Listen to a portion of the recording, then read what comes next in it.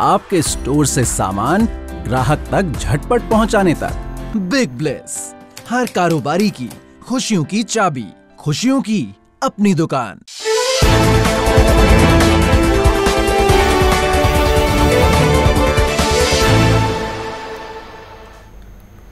अमित जी बात करें यहाँ से अगर अब सोयाबीन की तो सोयाबीन में हमने 7,900 के बाद कुछ करेक्शन आते हुए देखी है वायदा बाज़ार में एन पर। आपको क्या लगता है?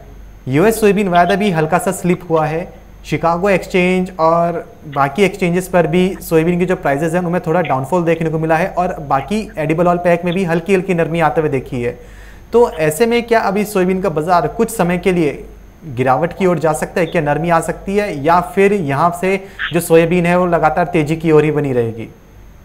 जी आ, ऐसा लगता है कि क्योंकि एक लगातार तेज़ी छह हज़ार से लेकर लगभग आठ हज़ार तक हमने हम्म। वायदा बाज़ार में आते हुए देखी है और ऑफिशियली स्पॉट मार्केट में भी आते हुए देखी है तो उसके बाद एक एक दायरे का कारोबार में रूल आउट नहीं करूँगा अब ये दायरा जो है वो सात हज़ार दो सौ से लेकर सात हज़ार आठ सौ का हो सकता है हम्म। लेकिन रुझान फिर भी तेज़ी का रहेगा यानी एक ब्रीदर जिसे हम कहते हैं पॉज के बाद में दोबारा तेज़ी अंतर्राष्ट्रीय बाज़ार में और भारतीय बाजारों में दोनों में ही लौट सकती है। लेकिन कुछ समय तक यानी अगेन यहाँ पर दो हफ़्ते के लिए अगर मैं बात करूँ हम्म। तो निश्चित स्तरों के आसपास सात दो सौ और ऊपर में सात आठ सौ ये दो लेवल इम्पोर्टेंट होंगे।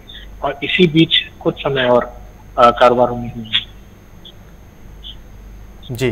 आपकी दुकान स्टोर में रखे सामान का पूरा खाता तैयार करने तक। बिग ब्लेस हर कारोबारी की खुशियों की चाबी खुशियों की अपनी दुकान।